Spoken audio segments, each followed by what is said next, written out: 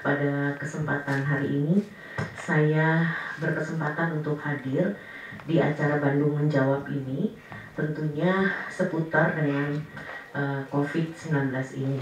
Perlu saya sampaikan di awal bahwa per tanggal 13 Juli 2020, di mana jumlah COVID-19 ini yang positif aktifnya itu ada 59 orang, ODP 129 orang, PDP-nya 243 dan OTG-nya 7 ya.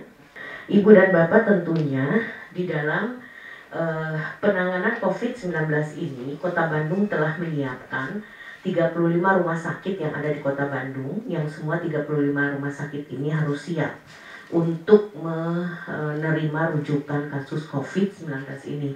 Walaupun ada rum dua rumah sakit rujukan nasional dari tingkat pusat yaitu RSHS dengan uh, Rumah Sakit Paru Rotin Sulu dan ada empat rumah sakit rujukan dengan SK Gubernur yaitu Rumah Sakit Sariningsi, Salamun, Sartika Asih dan juga RSUD Kota Bandung.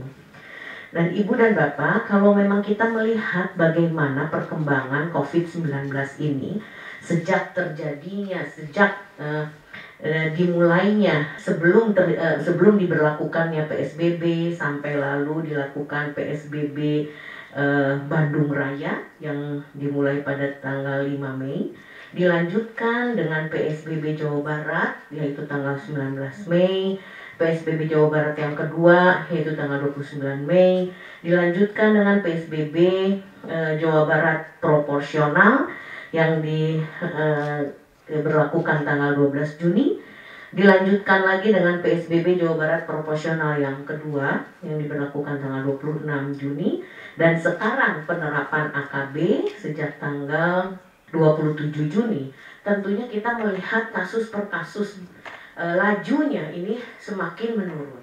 Ya mulai dari raju e, kasus positif ya juga mulai dari uh, laju PDP dan ODP, mulai dari belum diberlakukan PSBB sampai diberlakukannya AKB ini terus menurun.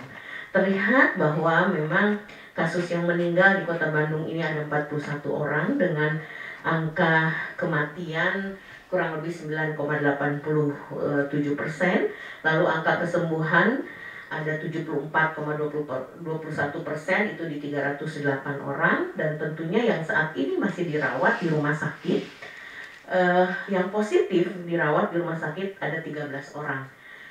Itu yang positif ya jadi sudah confirm positif sudah keluar hasil positifnya. Uh, sedangkan yang PDP dan dirawat di rumah sakit itu ada kurang lebih 161 orang ya, menyebar di berbagai rumah sakit yang ada di kota Bandung oleh karena itu tentunya Ibu dan Bapak, teman-teman media tentunya yang perlu menginformasikan sesering mungkin kepada masyarakat bahwa dengan kasus yang sudah mulai bagus menurun ini perlu kita pertahankan bersama. Tentunya dengan protokol kesehatan yang ketat, menggunakan masker dengan baik dan benar, menjaga jarak 1 sampai 2 meter dan mencuci tangan menggunakan sabun di air mengalir sesering mungkin itu yang memang perlu disampaikan kepada masyarakat.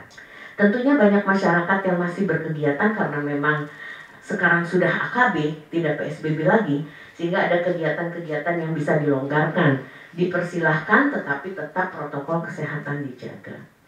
Ibu dan Bapak tentunya uh, pada kesempatan ini juga kami uh, ingin menyampaikan bahwa bahwa ada beberapa yang memang Ibu Bapak Eh, teman-teman media ketahui bahwa di kota Bandung ini ada klaster baru yang memang terjadi di kompleks Secapa. Perlu disampaikan juga di mana memang uh, tentunya uh, upaya kita di dalam mengantisipasi bukan mengantisipasi ataupun merespon terhadap kejadian di Secapa itu tentunya kami sudah melakukan tracing, sudah melakukan pemantauan kepada masyarakat di sekitar secapat tersebut lalu nanti kami akan melakukan rapid test ke beberapa uh, masyarakat di sekitar secapa itu.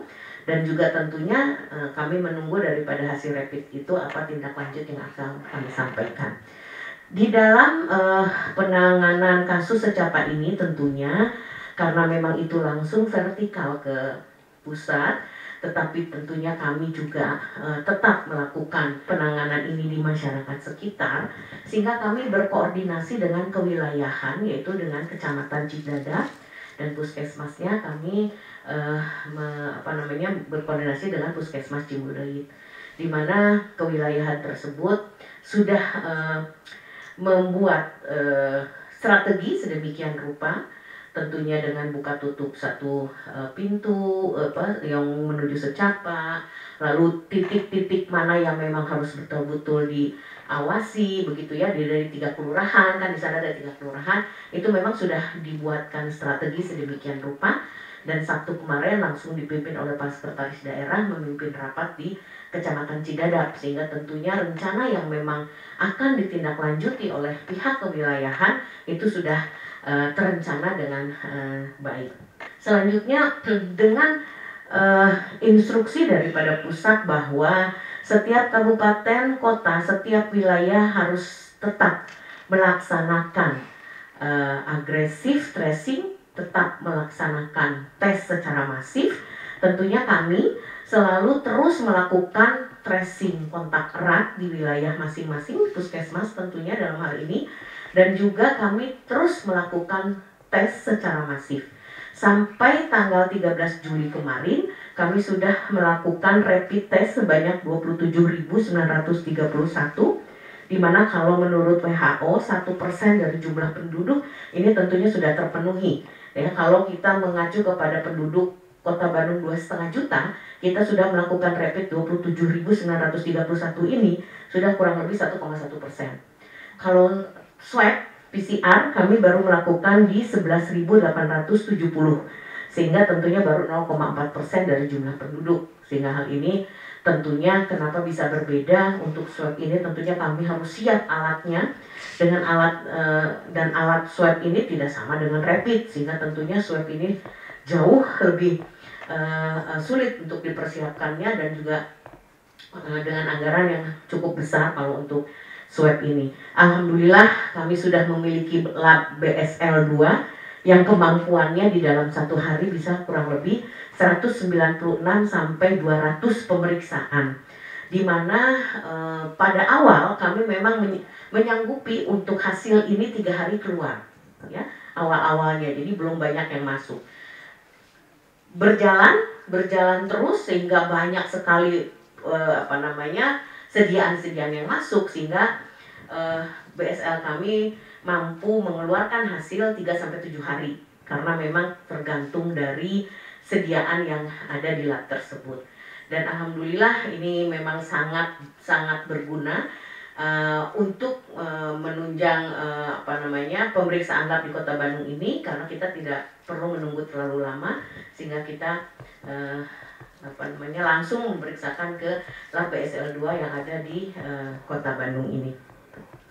Dan tentunya uh, Ibu dan Bapak di dalam COVID-19 ini tentunya kita harus sama-sama uh, berkomitmen, kita harus sama-sama paham bahwa kita harus selalu matuhi aturan dari uh, pemerintah Kota Bandung, aturan-aturan yang memang sudah dikeluarkan oleh pemerintah Kota Bandung dan saat ini kita menuju ke AKB dan tentunya ibu dan bapak pun teman-teman media paham mana ada kelonggaran-kelonggaran yang memang sudah diizinkan oleh pemerintah Kota Bandung tetapi tetap protokol kesehatan secara ketat harus dilaksanakan. Itu mungkin info yang bisa saya sampaikan. Nanti silahkan berkembang di diskusi.